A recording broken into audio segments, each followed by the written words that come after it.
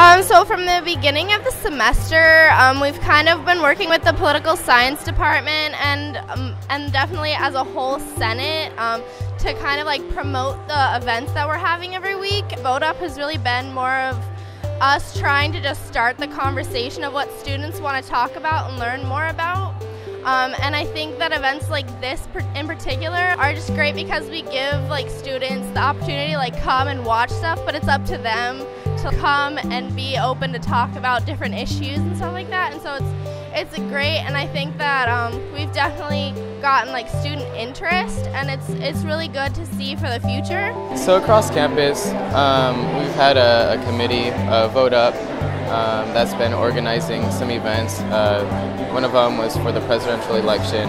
Um, it was a great turnaround. We had some uh, uh, flags handed out, some T-shirts, um, and we just wanted to spread the awareness of uh, the presidential elections and the race and all that, um, so that students would be more prepared uh, for when the day is coming. Uh, I, I, really believe that everybody's vote matters. Um, I mean, just because that's that's really what democracy is just getting everybody's opinion everybody's input. We might not have the best um, pick of candidates this year but i still think it's awesome that we can you know express our opinions. I mean we live in the united states. We're democracy. That's really awesome.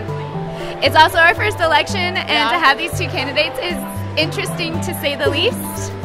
And may the best person win. Yeah you know when this election came up, I was super excited because I was not old enough to vote for Obama when he ran in 2012, but um, my first election for Hillary Clinton, uh, the first female nominee, I thought that was the best opportunity um, for my first election, and I'm just really nervous because this entire election cycle has been almost a roller coaster, um, and I just want it to be over with already. I think it's a really historic time and like a really scary time too. There's a lot going on and a lot of like just like I don't know uncomfortableness in the world overall right now and I think that it's really reflective in the election that we currently have. We have two super polar opposite candidates and it's just really scary that like one candidate can provide a somewhat stable future for America and one just like it's you have no idea what you're going to get with him because he's flip flopped on so many issues. Uh-huh. I think it's just a really kind of interesting first election to be a part of because I think that this has like never really happened before. I also think that this election, unlike others, has the ability to affect the entire world yeah. on a scale that I think we haven't seen before, and also multiple generations after us.